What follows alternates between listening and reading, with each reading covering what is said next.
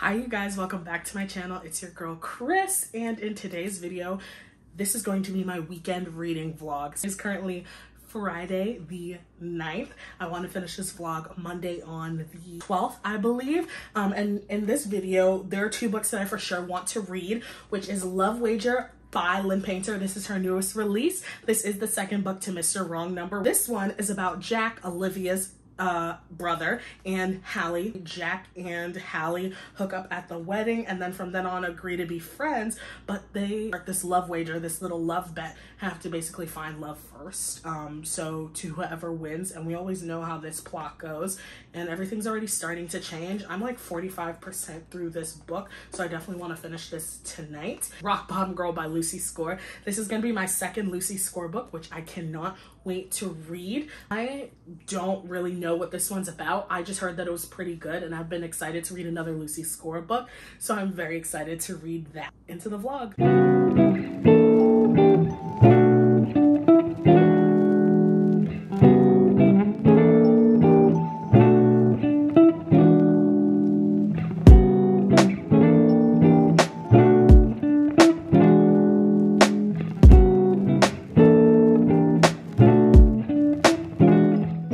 Just read like maybe two chapters. I'm into the part where Hallie is taking Jack to her sister wedding in Vail, where this is where the fake dating trope comes into play, which I'm absolutely loving. I love a good fake dating trope. I'm at like page 156. I will check back in with another update soon. Okay. Okay, hi you guys. I am back with an update. I am on chapter 20 now. I've been reading for like 45 minutes to an hour now. Y'all, it's starting to heat up a little bit. Tell me why. it's also forced proximity, one bed trope. And I am here for it. Right now, Jack is like not wanting to like lose his friendship and like he's waiting to admit his feelings or have a talk with Hallie until they get back to their hometown. They're talking about like, oh, like I don't want to ruin our friendship. I'm like, but like, I don't mind kissing you and like yada yada. And I'm just like, and Jack is saying some things. I think I'm around 60% done with the book. I'll update you when I'm into the 200s.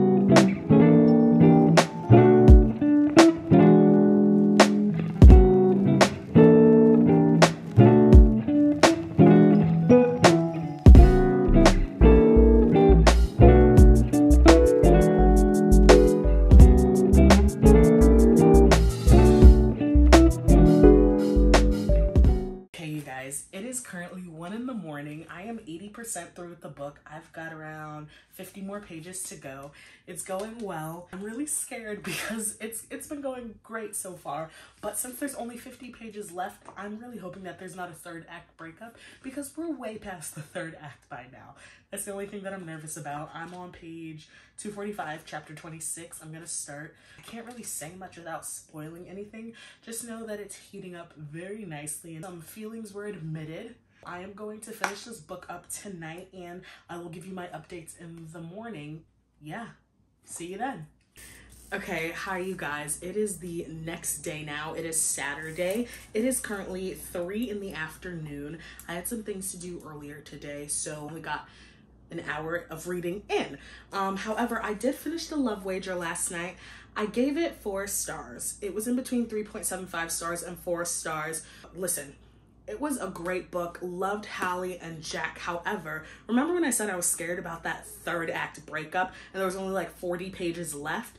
There was a third act breakup, but it completely didn't need to happen. And there was like a, like Hallie was like very confused um, and so she didn't know what to do, which pissed me off. She was just pissing me off. like, girl, it's really not that serious. However, four stars. I did start Rock Bottom Girl an hour ago. I am only 50 pages in. First five chapters, I would say, were there was a lot of detail and I don't mind that, but it felt like it was like dragging on like a little too much detail. Honestly, I don't think we're gonna grasp like the plot of the story um, too much until I'm like 100 pages in. But so far, it's okay. So I'll update you when I get to that.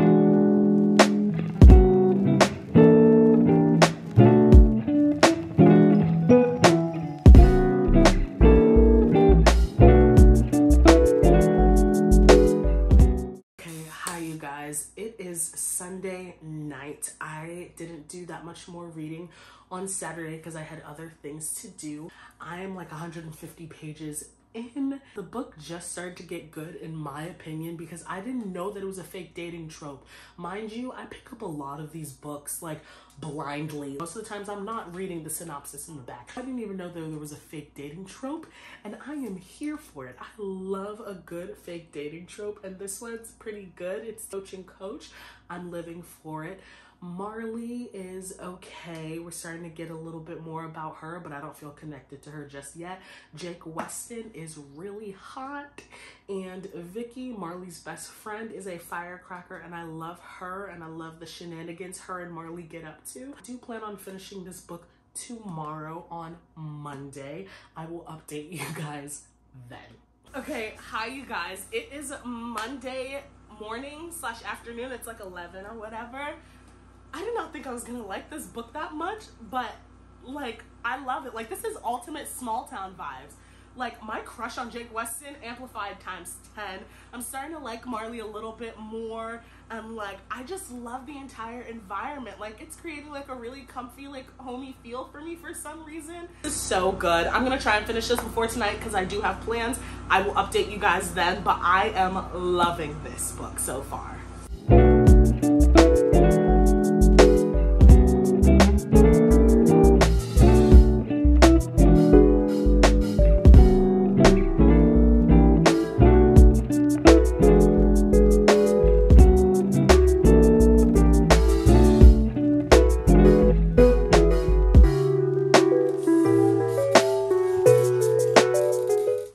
You guys. It is Tuesday night. As you can see behind me, I completely forgot to end this vlog out.